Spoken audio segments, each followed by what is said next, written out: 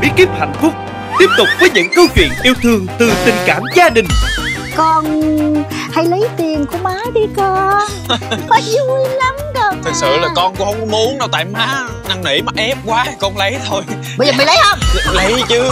Khi những ba mẹ quá bảo bọc con cái Trời ơi Tại sao ăn hiếp em? Nó thuộc thoại của má rồi đó.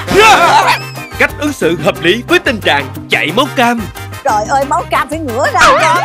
Phải ngửa ra để cho máu nó chảy ngược vô trong. Má lấy đồ Là nó ngước lên mới là đúng. Tại sao ngước lên đúng phải ngửa ra? Ngửa ra nó không có khoa hảo Tất cả sẽ có trong chương trình Bí kíp hạnh phúc Phát sóng vào lúc 16 giờ 40 phút Thứ hai, thứ ba, thứ sáu, thứ bảy hàng tuần Trên kênh truyền hình Vĩnh Long 1 Kính mời quý khán giả đón xem